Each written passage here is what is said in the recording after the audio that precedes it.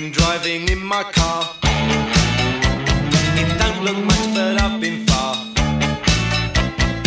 I drive up to Muswell Hill. I've even been to Selsey Bill. I drove along the A45. I had her up to 58. This copper stopped me the other day.